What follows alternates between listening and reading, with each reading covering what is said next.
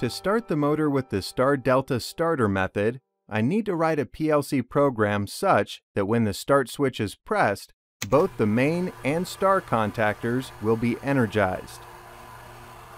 After a few seconds, the star contactor will be de-energized automatically, and the delta contactor will be energized, all while leaving the main contactor energized.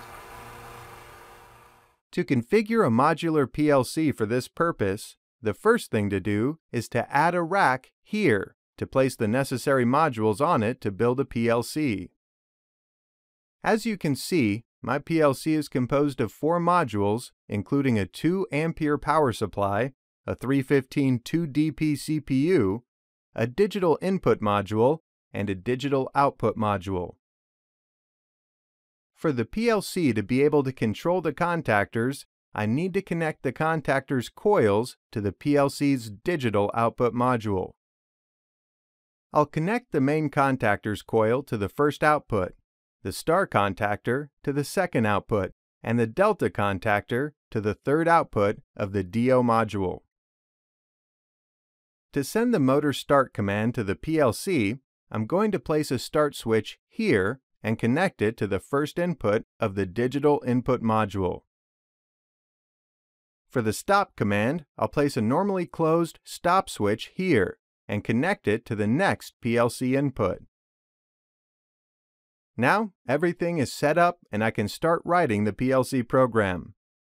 When you're going to write a PLC program, the first thing that you need to do is to configure the necessary PLC modules in software environment with the exact modules that you need in the physical environment. In the next lesson, you're going to learn how to do that.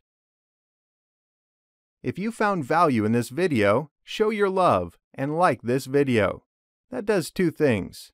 First, that gives us the motivation to keep making free valuable content for you. And second, it helps other people just like you to find our videos more easily through YouTube. Please subscribe to our YouTube channel if you haven't already done so. That way, each new video will be sent to you as it's published. How would you like to get access to a library filled with top-notch PLC programming lessons, as well as new video lessons delivered to you every week? For more info and free training, go to realpars.com.